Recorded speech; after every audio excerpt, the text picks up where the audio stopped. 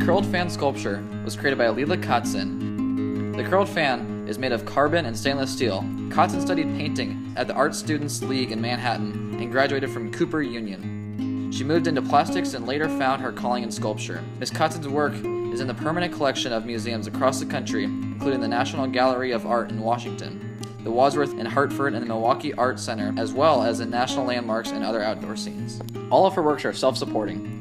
To create Curled Fan, she visualized the piece as a full sculpture, drafted it, and then worked closely with industrial fabricators. The constructors often doubted her drafts and were cautious about entering in her projects. Katzen regarded steel as living material.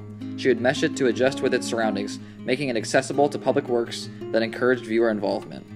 Sculpture should be opened up to the people so it can enliven and enrich their lives, said by Katzen. The New York Times justified that her work had the ability to transform the culture of an outdoor space. Her legacy will live on forever through her creations.